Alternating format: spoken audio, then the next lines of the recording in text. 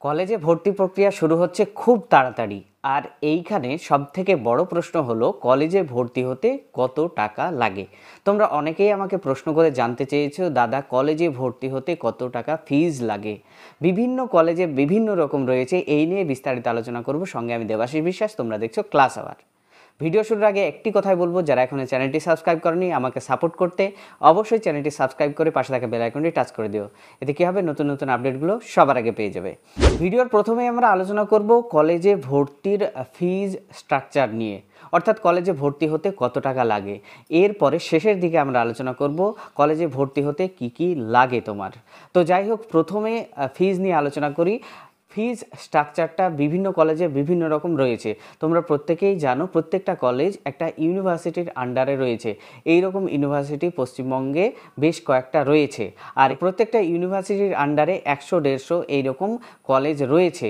তো যাই হোক, অসংখ্য কলেজ রয়েছে এবং অসংখ্য কলেজের ফিজ স্ট্রাকচারটাও বিভিন্ন রকম থাকে। গতবারের যদি আমি কথা বলি, তাহলে আমরা দেখতে পাই বিভিন্ন কলেজে বিভিন্ন রকম ছিল।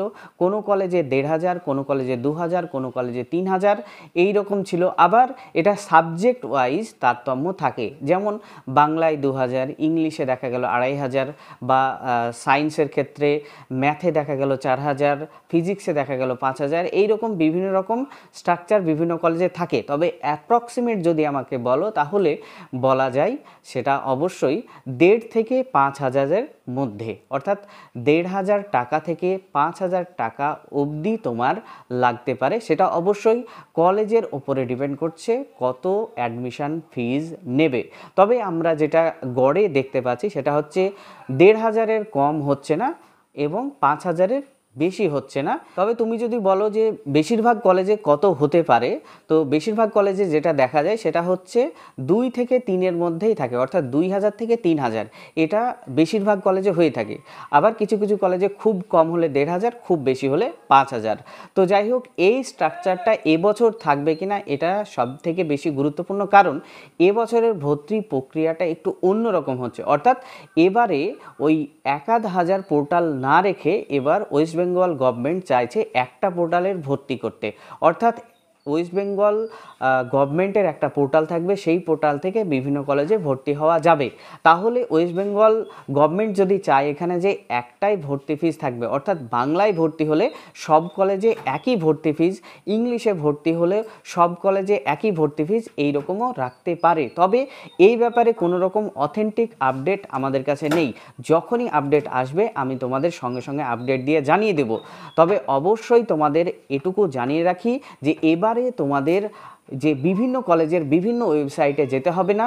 ওয়েস্ট বেঙ্গলের জন্য অর্থাৎ ওয়েস্ট বেঙ্গল গভর্নমেন্ট একটি ওয়েবসাইট লঞ্চ করেছে, তোমাদের স্ক্রিনেও আমি রাখছি, সেটাতেই তোমরা ভর্তি হতে পারবে। তবে এই বছরে ভর্তি ফিজ স্ট্রাকচারটা কত করে?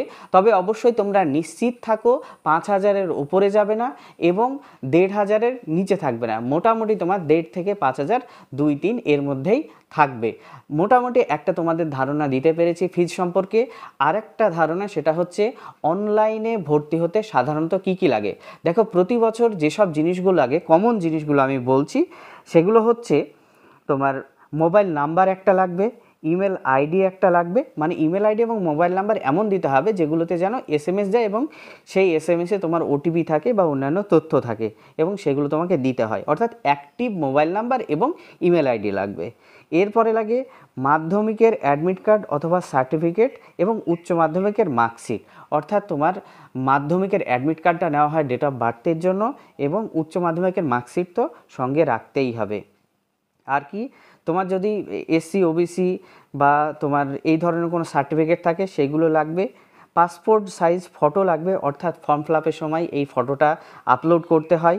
এরপরে একজন প্রার্থী একাধিক বিষয়ে আবেদন করতে পারবে। অর্থাৎ তুমি, দেখা গেল তুমি ইংলিশে আবেদন করলে, আবার চাইছো বাংলায় আবেদন করতে।